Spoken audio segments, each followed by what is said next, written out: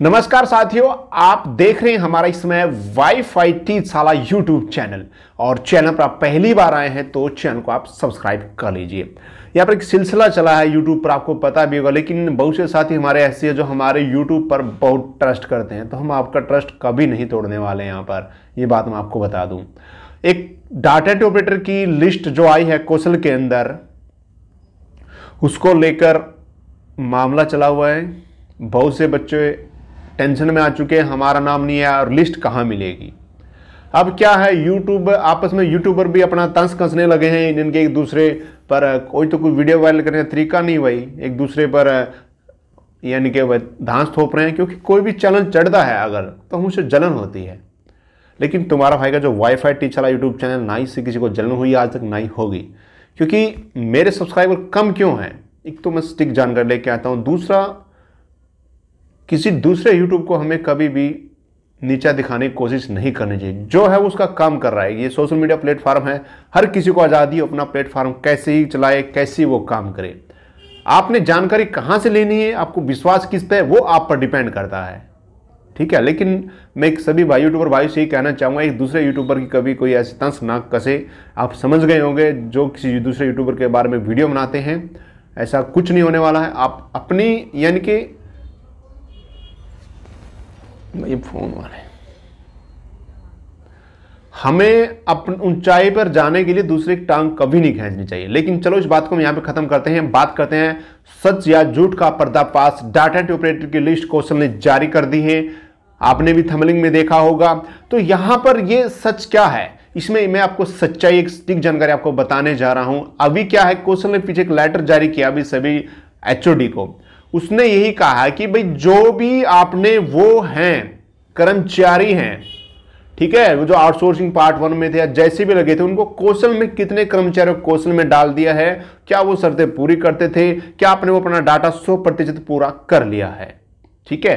अभी फ़िलहाल मामला जो चला करंट में क्या चला, वो चला आउटसोर्सिंग पार्ट के अंदर कितने डाटा ऑपरेटर आपके ऑफ़िस में थे, किन को कौशल में डाल दिया किन को नहीं डाला? ये सच्चाई ये है, उस शॉर्ट लिस्ट की मैं आपको बताने जा रहा हूँ। सच्चाई ये है, ठीक है? ये सच है जो जानकारी है शॉर्ट लिस्ट आप देख रहे होंगे, आपने हर यूट्यूब पर आपने देखी होगी। ये सच्चाई जो सटीक जानकारी मैं आपके लिए लेके आया हूँ, कोई भी आपको ये नहीं बताएगा। लेकिन मैं एक बार बार यही कहता हूँ, एक दूसरे यूट्यूबरों का भी आपस में नीचा दिखाने की कोशिश नहीं करनी चाहिए।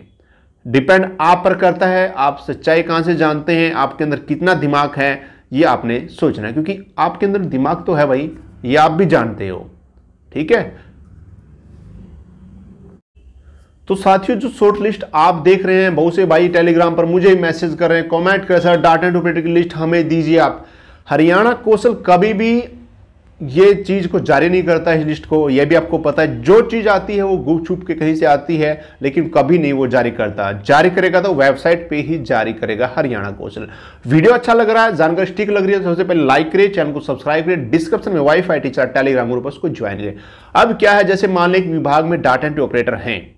अब उनका डाटा जो मांगा गया है शॉर्ट लिस्ट के एचओडी मांग रहा है एचओडी वहाँ पे क्वेश्चन में दे रहा कि हमने इन बंदों को ये क्वालिफिकेशन दी, हमने इनको यहाँ पे लगा दिया। अब जो लिस्ट क्या है, वो डाटा ऑपरेटर है, जो भी नाम है, उनका एक्सपीरियंस है इसका इतने साल का एक्सपीरियंस हो चुका है। उसके बाद क्या है, ये ट्वेल्थ पास है, ये बारहवीं पास है, ये डिप्लोमा होल्डर है, ये एमए है, ये चीज़ें दर्शाई गई है। लेकिन कौशल में जो क्वालिफिकेशन होती है डाटा ऑपरेटर की आपने फार्म भरा था, वहाँ पर क्या था, आपके पास एक साल का कंप्यूटर डिप्लोमा हो, या आपके पास हार्टरों के द्वारा जो एस लिया जाता है, वो पास हो। यानी कि दो चीज़ों में से आपके पास एक चीज़ होनी चाहिए। या डिप्लोमा वन ईयर का, कहीं से भी हो, किसी भी इंस्टीट्यूट से हो, प्राइवेट से हो, सरकारी से कोई मायने नहीं रखता। डिप्लोमा होना चाहिए। या आपके पास एस पास हो एस जारी करता है ओनली हार्ट्रोन ठीक है? इनमें से एक शर्त होनी चाहिए। लेकिन उस लिस्ट में सभी डिप्लोमाज है, कोई ट्वेल्थ पास है अलग अलग तरह के हैं, ठीक है? कोई ग्रेजुएट है, लेकिन वो लिस्ट क्या है? डिपार्टमेंट में 10 कर्मचारी लगे हुए हैं, डाटा एंट्री ऑपरेटर। एचओडी ने रिपोर्ट मांगी है कि आप अपना डाटा दीजिए, क्या क्वालिफिकेशन थी इनकी किनको इसमें डाला गया है, वो चीज़ें वहाँ पे शॉर्टलिस्ट की जाती है और वो आप किसी ने भैया से जारी कर दी है।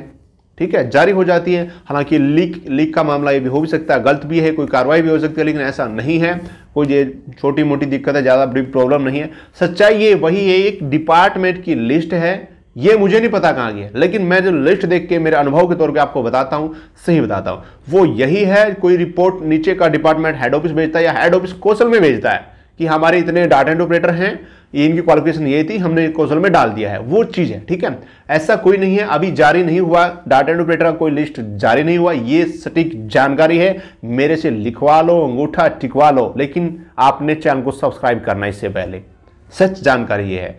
डाटा एंड कोई लिस्ट जारी नहीं की है। जो लिस्ट है वो मैंने आपको बता दी है। ये वही चीज़ है। डिपार्टमेंट के द्वारा लिस्टें बनाई जाती है, ऊपर भेजी जाती है। एचओडी से एचओडी से कौशल में भेजी जाती है कि हमारे इतने ऑपरेटर थे, ये थे, कोई पीएन थे। ठीक है, आप थोड़ा जानकारी समझा करें। जब कोई ऐसी जानकारी आई, कोई लिस्ट आएगी उससे पहले आपके पास शॉर्ट लिस्ट का मैसेज है। हम यूट्यूबर है, हमें नहीं पता था क्या रहा। वो आपके पास आएगा। आप हमें बताओगे सर, ये है। तब हम जानकारी शेयर करते हैं।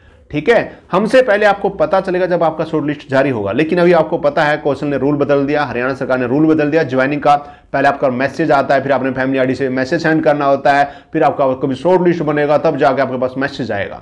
ठीक है? तो आपको हमारी जानकारी कैसी लगी कॉमेंट करना भाई। कॉमेंट करना सभी भाई ने वीडियो को लाइक और